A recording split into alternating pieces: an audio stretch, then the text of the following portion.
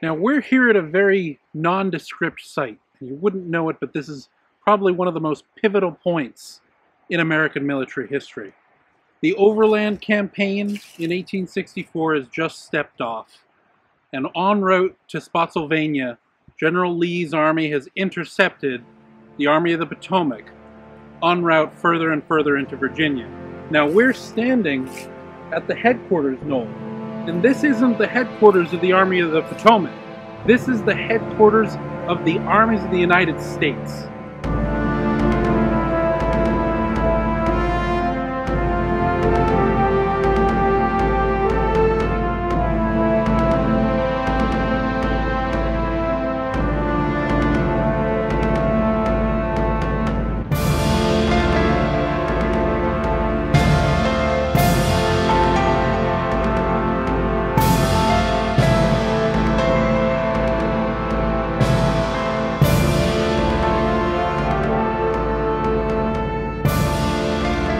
Late April, I'm deciding where exactly I want General Meade's Army of the Potomac to invest the Confederate Army, which is holed up in the mountainous area to the west of this area, Mine Run.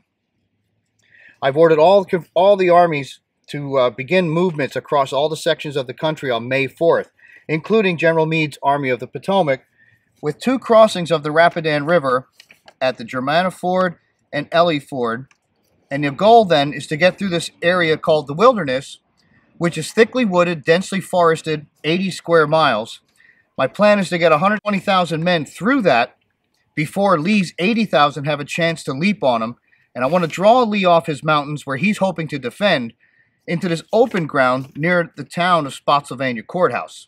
It doesn't quite work that way, that Lee waits till half the army is through and then brings his men out, his, his corps, to come out and hit the army in midsection, which erupts into a tenacious and vicious four-day battle near the Wilderness Tavern. And here, Grant is supervising in a way uh, General Meade, who is officially in command of the Army of the Potomac, but there's also the coordination of the entire war effort, not from Washington, not from a desk, but from here in the Virginia forest. So now that we're here at Wilderness, can you kind of explain that relationship with Meade and and the role of now a lieutenant general supervising in the field? So that'll tie into probably answering a question. When you say this is the headquarters of the Army of the United States, that means the supreme commander designated by the president. All of the functions of that office in Washington are done here through telegraph and dispatch to to manage the fighting at every other section because the order came between the second and the fourth for all commanders and all the other uh, sections to step off the same time that Meade's army is coming through here. So all of the forces are attacking, and we're having to manage that from here.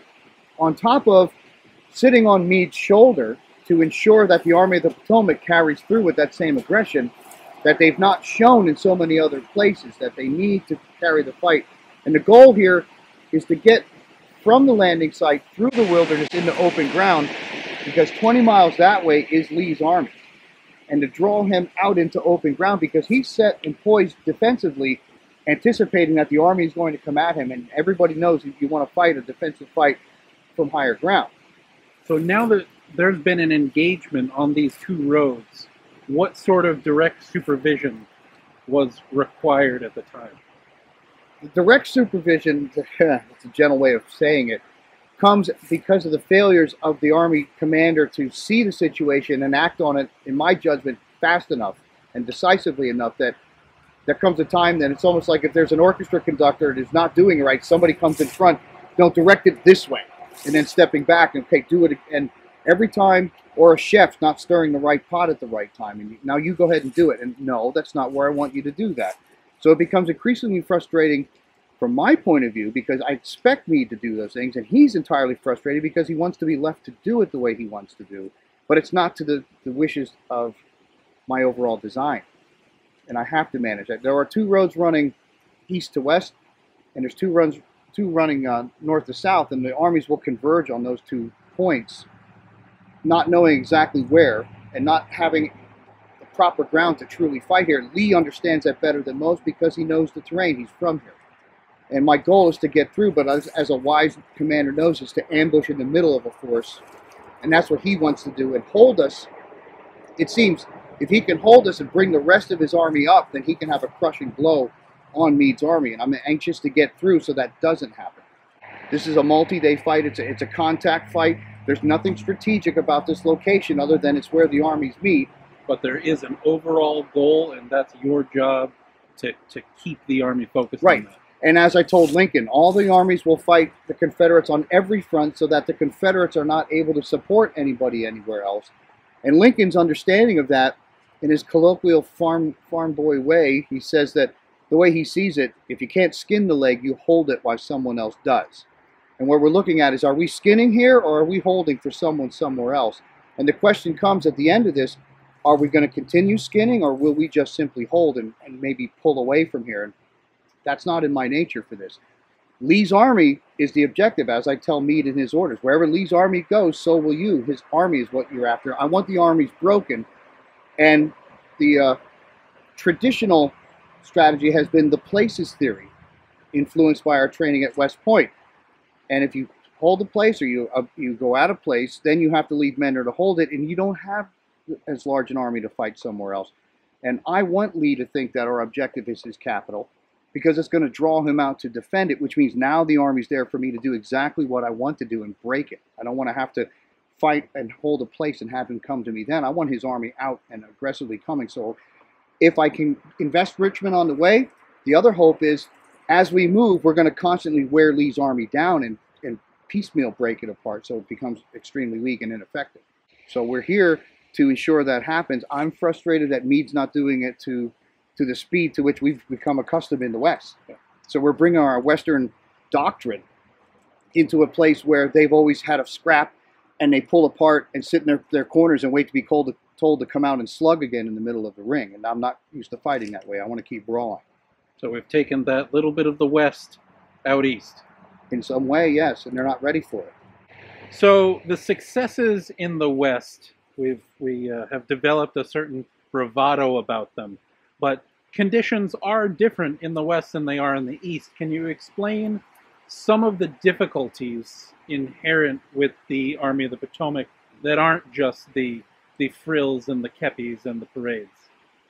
First is considering the size of the army, 50,000 men in operations in the West, and now I'm, I'm dealing with a force double that size. So that decreases our maneuverability to some degree. It also creates a longer tail of logistics support, and different terrain is another factor that comes in, and personalities of commanders is another thing that comes in. That Meade staff is constantly reminding our staff of that regard that this is not the West. Our conditions are different. The Army has been bred differently in its attitude as well. So we're dealing with all of that factor together and the friction just from that alone before factoring in what Lee's reaction will be because every the, every side has a say so in the plan of the battle whether they they've written it in or not. and the logistics are a little bit different when the West enjoys railroads and the river traffic. Absolutely. What what has to happen to move things here? Well, the, the, the scope of the transportation. Rail, rail cars carry a greater tonnage than wagons pulled by horses. The boats carry an even greater tonnage of all. And nearly everything has to be done on the roads here. So everything has to be moved by animal power at a slower and lower tonnage rate. Now, once this engagement is decided, there is a decisive moment, and I think we're going to go to a new location to talk about that.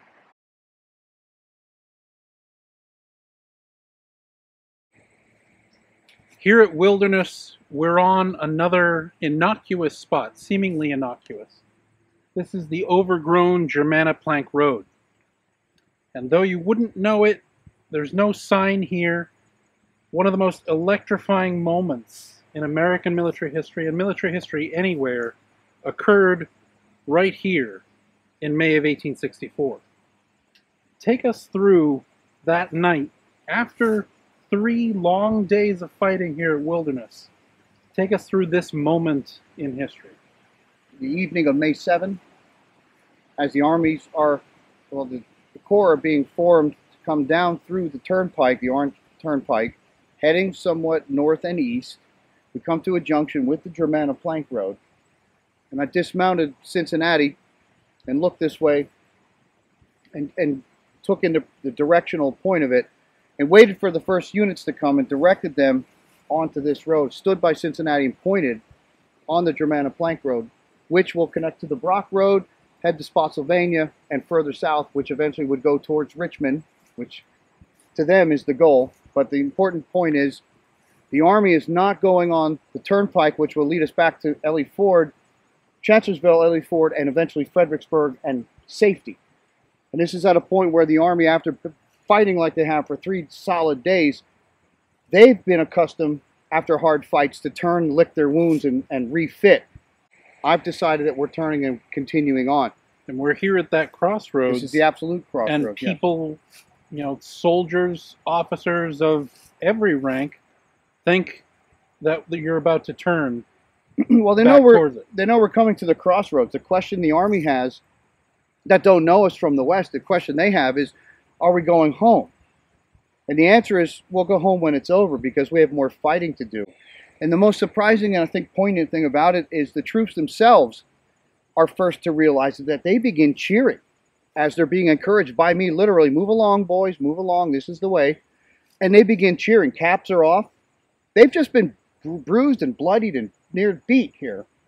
And I'm not letting them go home and rest. Hey, let's go have more. We're on our way to more of that same thing we just had here. And they're cheering for it because now they're saying that the army is being put into motion for what it's built to do and fight the rebel army and not go back. So they themselves feel that perhaps Grant has that that uh, confidence in us that we're going to continue. He's not discouraged by our fight here. He's emboldened to carry us forward. And they appreciate that more than anybody. They, they're cheering. Their brass bands start making their noise, and I have to quell all of that because my fear is that that noise will carry here at night. And wherever Lee is out there wondering where we're moving, he'll start to understand if they're cheering, there's a reason for it, and it can't be, it can't do well for his army, and would give him the clue that we might be moving further into what he sees, sees as his country. So, what a pivotal moment to be able to see the actual choice to go back north or to head down this road towards Spotsylvania. Absolutely. If you if you were to seek Providence's guidance, you might ask, well, where is my sign? What should I do? There's no premonition involved about, well, I see the road, I'll know which it is. It's just instinctively. I don't even have to think anymore. This is this is where we're going. So, is this the way? This is the way. Yes, my lord.